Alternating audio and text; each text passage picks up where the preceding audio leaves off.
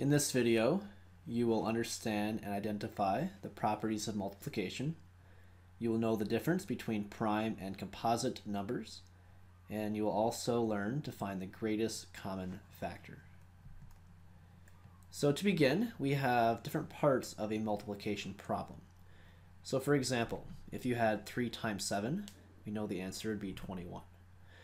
Now the numbers that we are multiplying together, so the 3 and the 7, those are called factors. And then the answer of a multiplication problem is called the product. So make sure you know these terms because you will see these a lot in your study of mathematics. So we have factor and product. Now with multiplication, there are different ways to express multiplication in math. We could use your traditional times sign right here, so 4 times 5. But also we can use a raised dot. So a dot in between the 4 and the 5 also means multiplication. Notice it is not a decimal point. A decimal point is down lower and is level with the bottom of 4 and 5, whereas the multiplication symbol, this raised dot, is in the middle of 4 and 5. So that is a little bit different than a decimal point. So in addition to these, we could also use parentheses. So we have a parentheses around the 5, for example. That would mean we're multiplying 4 and 5 together. The parentheses could also be with the 4, the first number, or it could be with both numbers. So all of these expressions mean the same thing. This all means multiplication. So be familiar of these different ways to express multiplication because you can see any of these uh, different ways as you progress in your study of math. Now with multiplication, there are some properties that will always be true. The first is called the commutative property. So in English, this property says that the order of multiplication does not make a difference. So in math notation, we would say a times b equals b times a.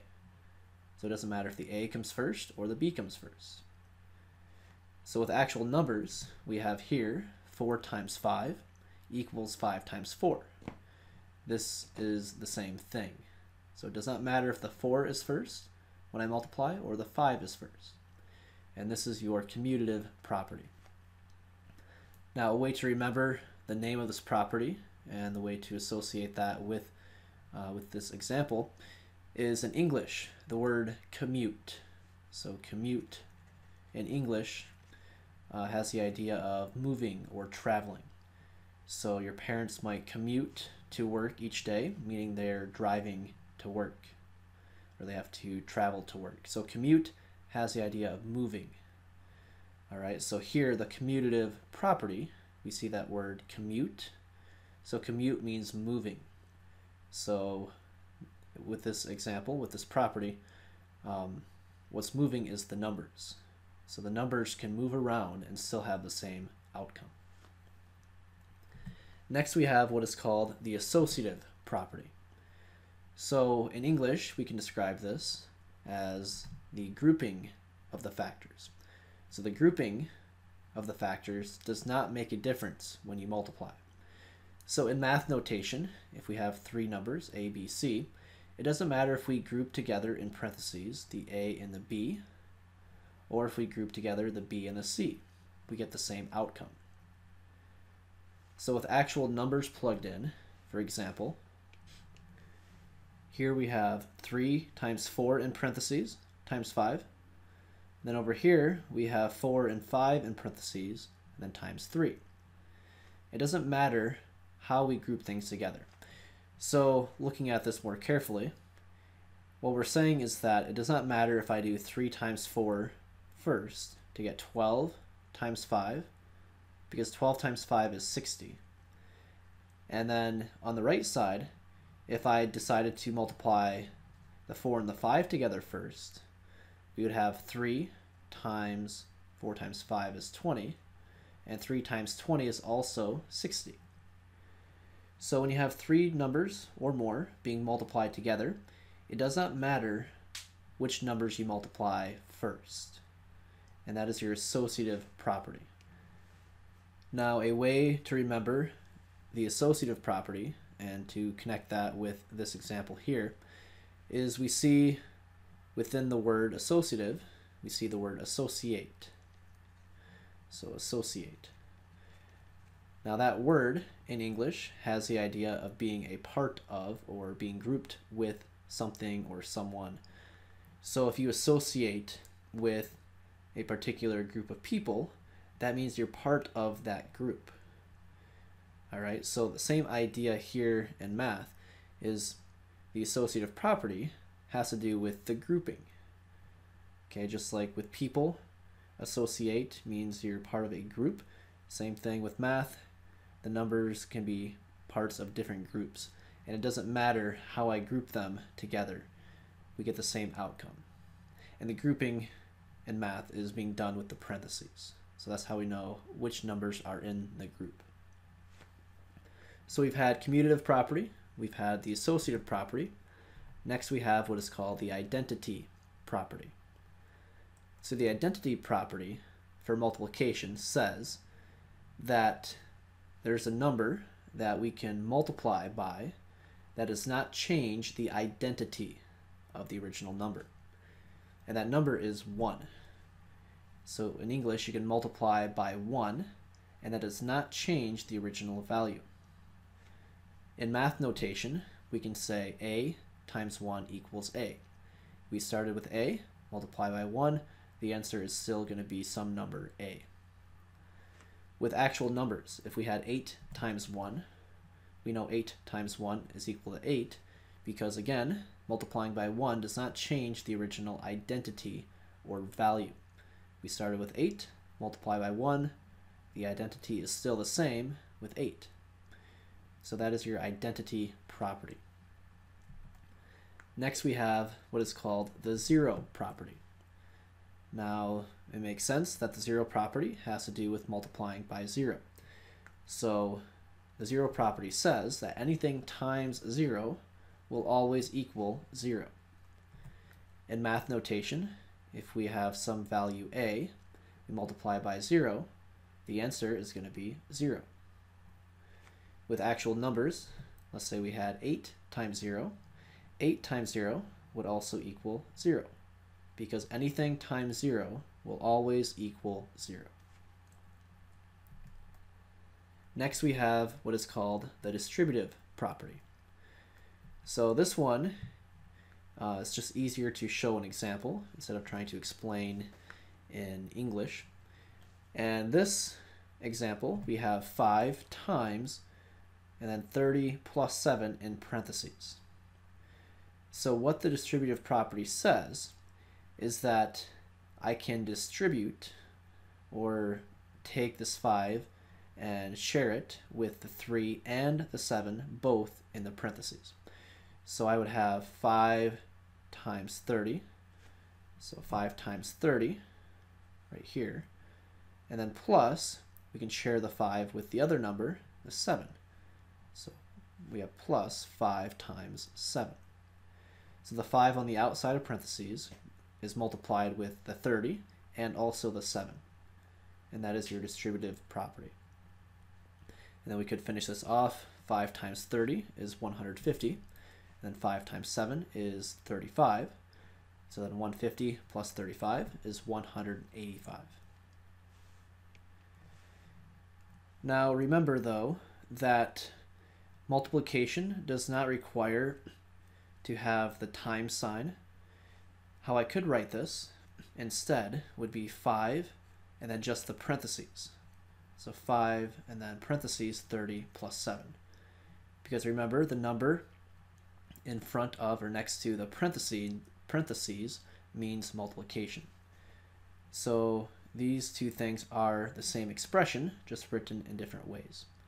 And most often, as you progress in your study of mathematics, we will typically use this notation over here.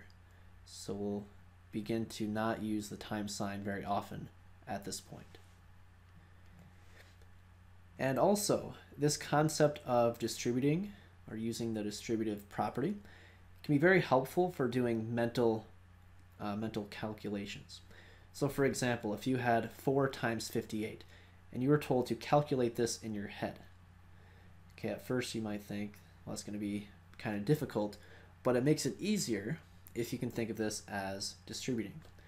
So this 58, if we write it like we have it over here as two numbers being added together, we can use the distributive property. So 58, we can think of that as 50 plus 8 right? That's the same thing. 50 plus 8 is 58. So when I do this in my head, I can think through, okay, 4 times 50, so 4 times that first number, so 4 times 50, and then plus, we take the 4 and multiply it by the 8, so 4 times 8 as well. So we're sharing that 4 with both numbers. So 4 times 50 is 200. 4 times 8 is 32. So that is a pretty quick problem to do in your head from this point. 200 plus 32 is 232. And that is our answer. So be aware of how to use the distributive property because uh, later, as you progress into algebra, uh, it's going to be very crucial in your study of algebra. But also, immediately it can help you with doing mental calculations. So for those two reasons, it is important to know the distributive property. Now we're going to switch gears a little bit and we're going to discuss the concept of factors. So remember, factors are the numbers that are being multiplied to get an answer. So if you had like 4 times 7 equals 28, 4 is a factor, and 7 is a factor. And then 28 would be the product, the answer. So here we see an example where we are to find the factors of 20. Or in other words, what numbers, what whole numbers would multiply together to get 20. So to get 20, we could do 1 times 20. We could do 2 times 10. Or we can do 4 times 5. So we've thought through all the combinations of ways to multiply whole numbers to get to 20. And so now we can list out the factors of 20 to be the numbers you see listed. We have 1, 2, 4, 5, 10, and 20. So those are all the factors of 20. So let's try another example. What if you were told to find the factors of 24? Well, what numbers, what whole numbers will multiply to get 24? Well, we could do 1 times 24, 2 times 12, we could do 3 times 8, or we can do 4 times 6. These are all ways to get 24. So the factors would be the numbers you see right here. We have 1, 2, 3, 4, 6, 8, 12, and 24. So those all would be the factors. All right, now if you're told to find the common factors between 20 and 24. So what common factors do we have with 20 and 24? So looking at 20 and 24 and their factors, we see that they both have a 1, they both have a 2, and they both have a 4. So the common factors of 20 and 24 are 1, 2, and 4. And then there's this concept of what is called the greatest common factor. So what is the biggest factor that both numbers have in common? Well, the biggest factor we see that they both have is the number 4. Right? That is the largest factor that they have in common. So the greatest common factor of 20 and 24 is 4. And this concept of greatest common factor is going to be very important for many different aspects in math. So it is important to know how to find these numbers. So for this lesson, we just will list out the factors and see which ones they have in common and find the biggest common factor. In the future, you'll learn a different technique where you can uh, kind of calculate the greatest common factor, which would be helpful for like really large numbers. All right, but for now, you can just work on listing the factors out for both numbers and then seeing what they have in common and seeing which one is the biggest number that they have in common. And now let's switch over to prime versus composite numbers. So these are two different categories of numbers. And for prime numbers, the numbers that fall into that category would be numbers that have only two factors. So only two numbers that can multiply to get to that particular number. And that's going to be the numbers 1 and itself. All right, so we'll look at examples here in a moment. Um, but composite numbers is the opposite, and composite numbers has more than two factors. So looking for prime numbers. Prime numbers, the smallest number that we begin with is going to be 2. All right, because the only way to get 2 is by doing 1 times 2. So it only has two factors, right? The only factors is 1 and 2. Looking at the next number, 3. 3 is also prime because the only way to get 3 is by doing 1 times 3. Right? There's no other way to get 3 by multiplying whole numbers together. So this number 3 would also be prime. Now, the next number, 4. 4, we can get 4 by doing 1 times 4, but we also could do 2 times 2. So here we have more than two factors. We have 1, 2, another 2, which we don't count again, but we have 1, 2, and then 4. So that's three different factors. So for that reason, that's going to be composite. And then we look at 5. 5, the only way to get 5 is 1 times 5. So this would be prime because the only two factors are 1 and then 5. Now 6 6 we can do 1 times 6 or 2 times 3. So because it's, it's got more than two factors, this would be composite. So 6 would be composite. 7, we do 1 times 7. And that's the only way to get, uh, get 7 back out. So that would be prime. Okay, and we keep, keep going for all these if we want. 8 would be composite because we can do 1 times 8. But we can also do 2 times 4. So that would be composite because we have uh, different ways, uh, more, more than two factors, right? We have more than just 1 and 8. We also have 2 and 4.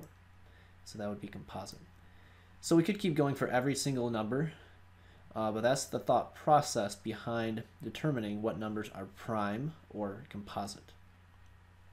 And by the way, in English, uh, the word composite, we see uh, word, the main word compose. Compose means it's made up of more than one thing. So the word composite has the idea of being made up of more than just uh, with factors of one in itself.